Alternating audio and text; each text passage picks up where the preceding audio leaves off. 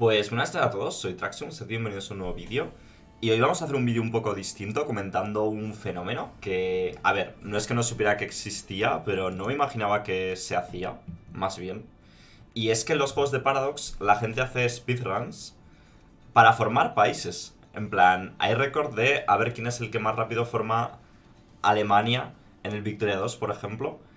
Y hoy vamos a echar un vistazo a los, a los récords que hay del EU4, además aprovechando que, que recientemente ha sido el evento este de Games Done Quick, que para los que no lo sepáis es como un evento benéfico en el que distintos speedrunners, para los que no sepáis lo que es un speedrun, ¿vale?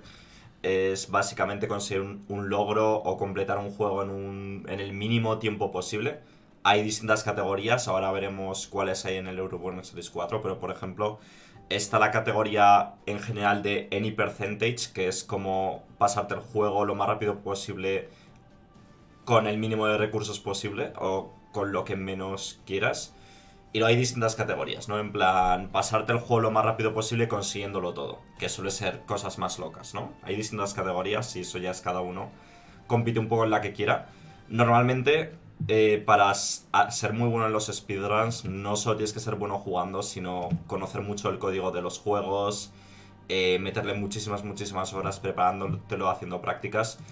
Un juego que está súper de moda hacer speedruns ahora es el, el, el el Hades. Aquí lo tenéis, por ejemplo. Que es un juego en plan... ¿Cómo decirlo? Bueno, es un, un roguelike, un dungeon crawler también, que ya es un personaje y bueno, pues te vas enfrentando a distintos desafíos y tal. Y como veis hay distintos... Hay distintas categorías, ¿no? Em, y bueno, pues el récord mundial, pues ahora mismo lo tiene un tío que se lo ha pasado en 6 minutos, 29 eh, segundos, luego el siguiente 6 minutos 39 segundos. Y así va la cosa, ¿no? En plan, hay distintas categorías. Por ejemplo, podemos poner eh, con todas las armas, ¿no? ¿Quién es el que se ha pasado más rápido este juego con todas las armas? Pues tenemos un tío que se lo ha pasado en cerca de dos horas el juego, ¿vale? Eh, con tres armas, pues en 48 minutos, eh, fresco. Y hay cosas como más hardcore, ¿no? Eh, un Zelda, por ejemplo. vamos a poner, por ejemplo, el... ¿Cómo se llama el del lobo, tío? El Twilight Princess, creo que es. El Twilight Princess. Ya veréis aquí, por ejemplo el más rápido son dos son casi tres horas, ¿no? En plan en any percentage, que es como lo más rápido que puedas con los recursos que puedas. Pero en cambio, si nos vamos al juego completo, seguro que es mucho más loco, ¿no? Ya son seis horas y media. O yo que sé, un Final Fantasy. Vamos a poner el 8, por ejemplo, que es como muy famoso. Eh, los speedruns del Final Fantasy 8. Pues en general vemos que se lo completan lo más rápido posible. Ojo en 8%, en 8 horas. Y con todo, ya se van a cerca de 10 horas, 12 horas, etc. Y bueno, aquí también esta web, la de speedrun.com, que es la que estamos viendo, es justamente gente que sube su run o la, o la enseña en. o la enseña en Twitch y cosas así. Así que no necesariamente están reflejadas aquí todas las speedruns del mundo o las más rápidas que se pueden haber dado, sino simplemente pues la gente que decide registrar en esta web, creo que es la más famosa, supongo que hay otras y tal. Pero bueno, a lo que nos... Eh, bueno, como veis, hay, hasta el Europol en Salis 3, pero vamos a ver el Europol en Salis 4. Y, y ya veis que hay distintas categorías, ¿vale? Y son cosas bastante hardcore. La primera que estamos viendo es la de tomar los, los cores de Francia. Hay un tío que tardó 24 minutos en hacerlo, pero luego nos vamos al top 3. O sea, entiendo que esto es con Francia, ¿no? Sí, tomar los cores de Francia vuelta con Francia. Em, pero luego ya nos vamos a 8 minutos, 6 minutos y medio y 3 minutos. Un tío, desde darle al play en la partida, de hecho aquí lo ha subido. Vamos a echarle un vistazo a este vídeo. Es literalmente el tío haciendo un récord mundial en 3 minutos de conquistar todos los cores de Francia. Básicamente es ganar la guerra a Inglaterra rápidamente, si no me equivoco. Uh, dice que todavía no está no ha hecho como la runa optimizada, ¿no? En plan... Es loco esto.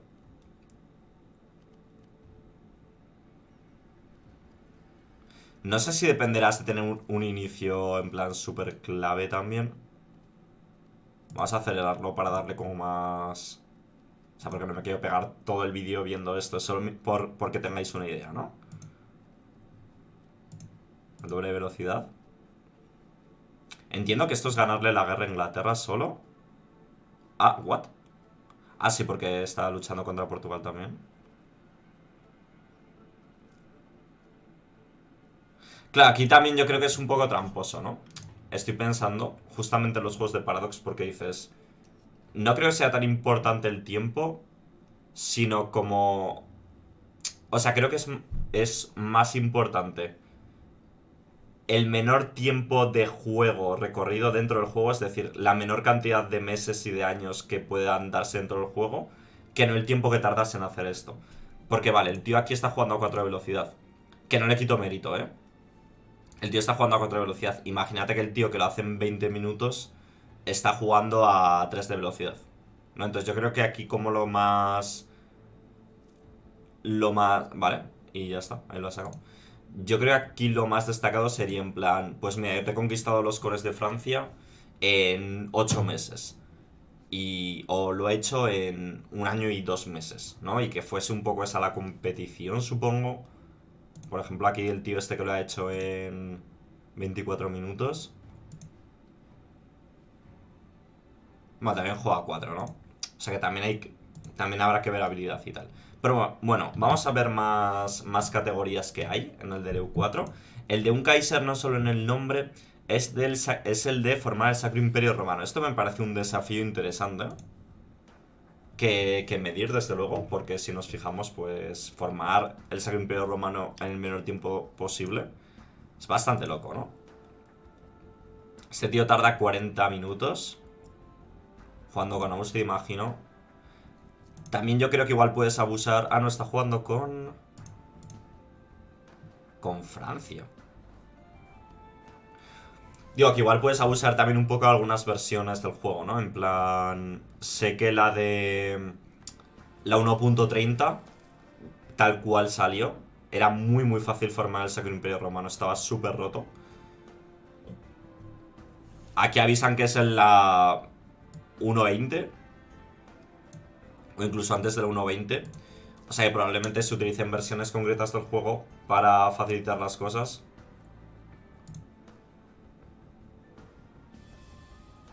Pero ahí está, es el año 65 y ya ha pasado casi todas las reformas. Con Francia. Esto claramente es... O sea, esto estará haciendo uso de algún exploit seguro. Que es lo que hay, ¿eh? O sea, en, las, en los speedruns Salvo que fuera una categoría en plan formar el Sacro Imperio Romano sin exploits. Pero tampoco tendría como mucha gracia eso, ¿no? Yo creo que, lo que mola precisamente de los... De este tipo de contenido es ver exploits y, ver cómo abusan de, de, las mecánicas y tal, ¿no? Pero bueno, ahí esta debería formar el Sacro Imperio en breve. Años 75, ¿eh?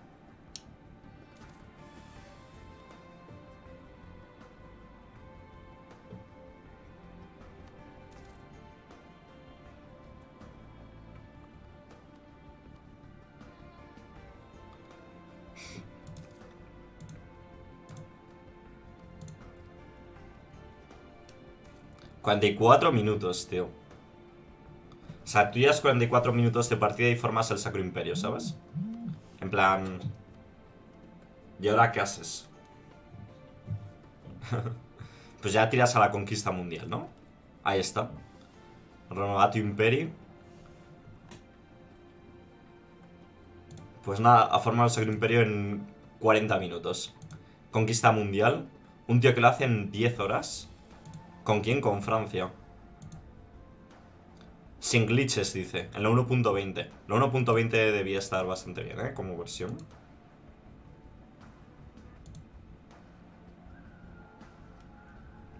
Muchos errores y todavía y consigo conquistar el mundo debajo de 10, de 10 horas. Ha formado Prusia. Me pregunto por qué. Es un país que está equilibrado.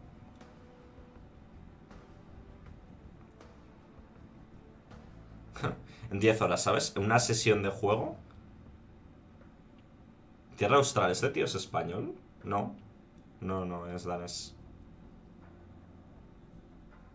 O sea, como he dicho, no es que haya muchísima participación, pero mola ver estas cosas, ¿no? Eh, formar el Sacro Imperio otra vez. Big Blue Blob. Porque este tío ha creado las categorías y ha dicho... me ha sacado el récord del mundo. Big Blue Blob me parece bastante hardcore. Porque... Tienes que conquistar mogollón de territorio con Francia en muy poco tiempo. Y las coaliciones... Y tienes que petar coaliciones sí o sí, tío. Hay unos logros que son como muy... Muy extraños, tío. Que son como muy de Leu, ¿no? En plan...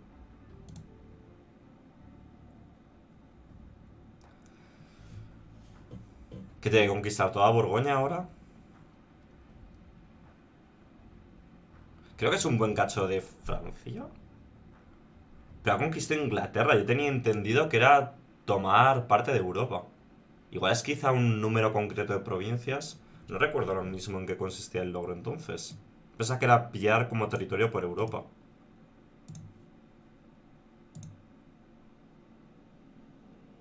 A tener 100 provincias coreadas en Europa, vale, vale, vale. Normal que tire por, por Francia, por Inglaterra entonces, mucho más débil. Desmantelar el Sacro Imperio. Un tío lo ha hecho en 4 minutos.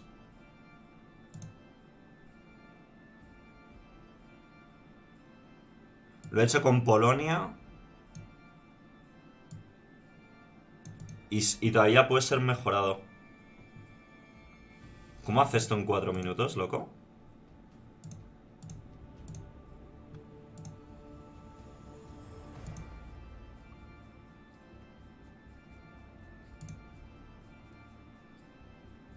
No, claro, endeudando el país a muerte, ¿no? Y pillando una de tropas que flipas.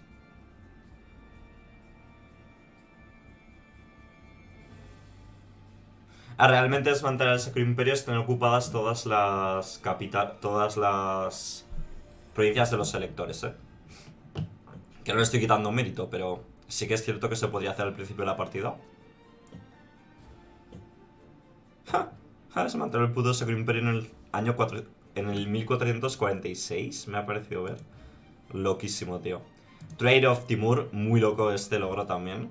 Es empezando con con un heredero persa, creo. No lo sé. Seguro, creo que, creo que este tiene que ser un país de cultura persa. O bueno, por la zona de Persia. Y conquistar como media India. Antes del año 1500 o 1550. plan, es super hardcore. Puedes formar, o sea, formas los mogoles, que es uno de los mejores países del juego. Pero aún así, bastante hardcore. ¿Veis? Tiene como media India. Y tienes que jugar como a saco con las alianzas y tal. Este logro es muy, muy difícil, ¿eh? El verdadero hijo de Timur me parece de los logros más hardcore. Pero bueno, esta es la idea un poco, ¿no? Lo hacen cuatro horas. Fijaros la cantidad de territorio que tiene, ¿eh? He empezado con Afganistán.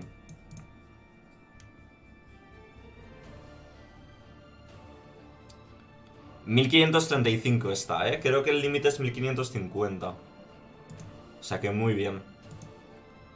Descubrir América. Mira, esto me parece un, desafío interesante, tío. Descubrir América en el menor tiempo posible.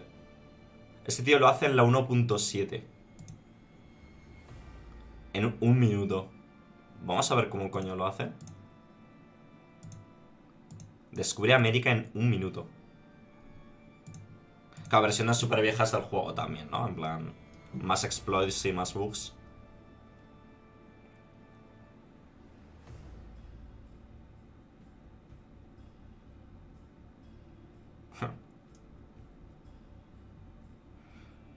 Claro, no sé si Portugal empieza... Es que han cambiado mucho lo de la exploración también, ¿no? Que irá a la menor provincia... O sea, la provincia más cercana que cuente para descubrir y aún así la caga ahí, ¿no? En un clic.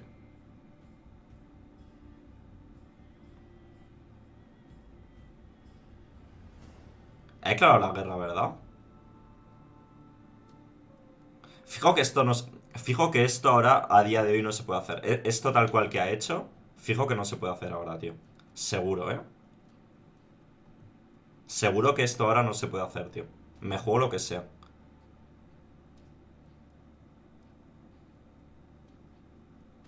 Se queda el territorio. Bueno, es que esperaba que saltase un logro o algo, pero supongo que no era la cosa. Mierda. Eh... Jenny Percentage, ¿qué es esto, tío? Con los caballeros, ¿pero qué es esto, tío?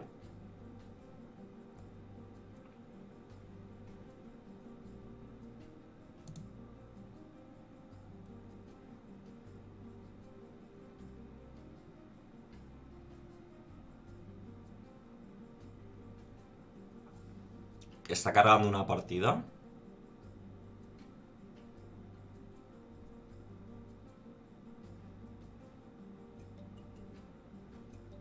¿Qué coño? ¿What?